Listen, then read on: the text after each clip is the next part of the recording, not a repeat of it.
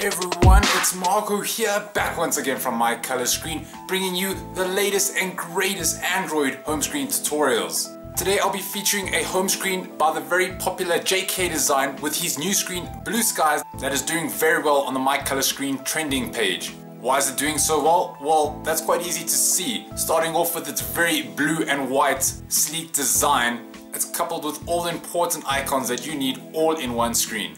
Starting at the top, it's got the ability to quickly jump to your application page as well as your settings. Below that, it's got your time, your weather, your date, your missed calls, your text messages, and even a Google search bar. How cool is that?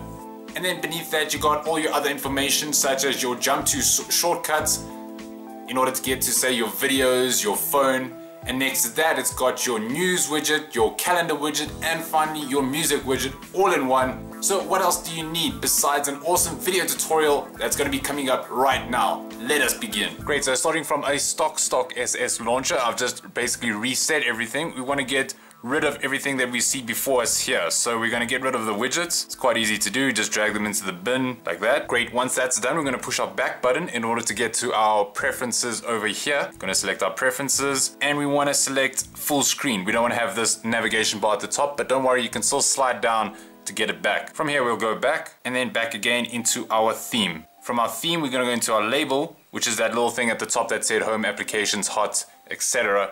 Now we want to get rid of that. So once we're in the label style, we want to select hide labels. Unfortunately, this is for the pro version, but don't worry, the pro version is amazing. So I highly recommend it. You want to hide the labels and go apply changes. Just go back again. And as you can see, everything has disappeared on your screen except for the wallpaper. So that's where we're going to be heading to next, the wallpaper. Great, so for the wallpaper, we're going to be holding down on the home screen, selecting wallpaper, and then going into our gallery.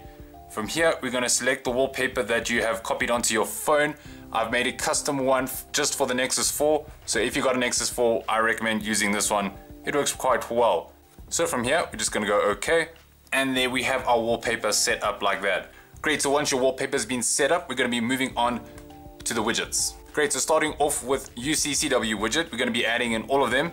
There's quite a few, so get ready. We're gonna be holding down, selecting new widget. And now SS Launch is a bit finicky about the sizes that you choose. So you're gonna go for the ones that more or less look about the same size. So we're gonna be using that top bar that's got the three icons. We're gonna be, let's say, use a four by one and then select open uzip. Now we're gonna be selecting Blue Sky 2. Remember you have to copy all these uzips onto your phone. I just normally just copy that whole entire Blue Skies folder onto the phone and these all, all be there. So selecting Blue Sky 2, I've already imported it, so I'll just go yes. So from here, you just want to push the back button, just get rid of those little adjustable bars, and you just want to select the hand. Now you just want to resize it so that it fits nicely in that gray bar there. So if we hold down on it, select it again, this will allow for complete resizing ability, I guess. And that's pretty much it. Now we can hold down, get more precise. Remember you've got your joystick can't really see it, but it is here, which allows for that complete fine tuning. Great, so there is our first widget set up. We're gonna be adding in all each one of the UCCW skins now, just so we can get them out of the way. For the clock, I recommend going for a 4x4. Go open uzip, that is Blue Sky 1. Great, now once you've got it to the way you wanted it, remember to hold down on it and then say to back.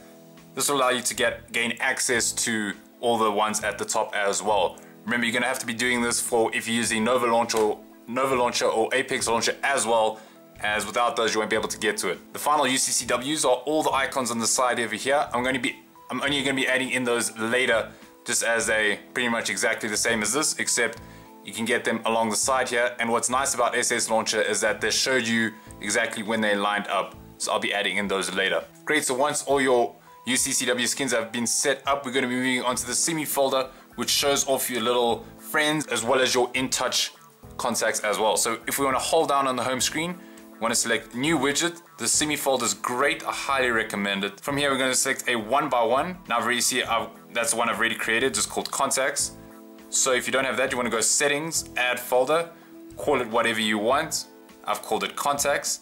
Next, you want to say the contacts folder, you want to call that or make it only contacts only. For your widget settings, you want to select go into it. Your icon, you want to select your icon, go gallery and select the blank PNG that has been provided below.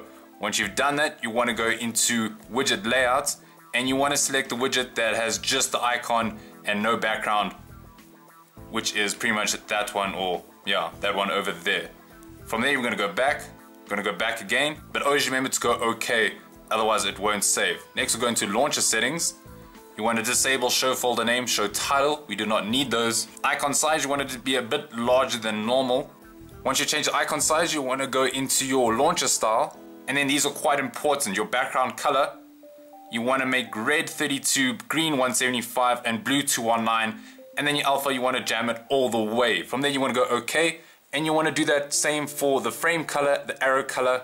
Well, in text color, you just want that to be white. Great, and once that's done, we're going to go OK and that is our launcher settings done. Just want to go save it now. And if you want to add, once you've created the folder, you'll have, you should have no items here. So you want to add in each one of the contacts that you would want. It looks really cool if they have their pictures already set up for them. And once it's done, you just want to go back again. You into the, so you're into the main page and you want to select the contacts and that will have it there. So you just want to make resize it now so it only takes up that friends tab over there like that that's what's great about SS Launcher. You can make those any size you want. With Apex or Nova Launcher, you might just have to resize that one by one widget or get it into the right place by changing your grid sizes accordingly. So just double checking that works. Just gonna tap it. Yep, that looks pretty good. Just move it down a little. Yep, and that looks pretty cool. So once that's done, that's SiMi folder complete. Let's move on to our simple calendar over here as well as your news widget over here. Great, so for the news widget, you want to hold down and select new widget, new widget, yeah, new widget. And I'm going to go a bit quickly on this because it's quite a, it's quite simple to add. Just want to select simple RSS widget. So from here, we want to just say add RSS feed and then just add any of one of your RSS feeds that you have used to select add. Great, next your news text, you want to make it a nice grayish color. So we'll just change our value to pretty much halfway. That looks good. Your background, you want to make it completely transparent. So you slide the alpha all the way. Your icon transparency, you want to make that clear as you don't want to see those icons on the side there, but don't worry, they'll still be there. And that's pretty much it. We're just going to go save now. That is your RSS widget setup. It just takes some time to get those RSS feeds in. Next, you're to be adding in your simple calendar widget, which is a great app now owned by My Color Screen, so you might want to go check it out and see why. You can choose any size. Let's go for a medium. It's quite big, so we can just resize it a bit now.